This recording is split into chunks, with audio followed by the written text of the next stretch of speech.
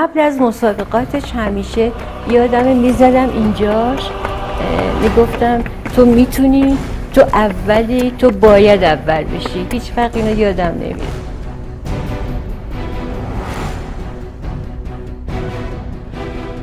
برای اولین سال تمام مسابقاتم اول شدم باید امسال قهرمان چمن بشم.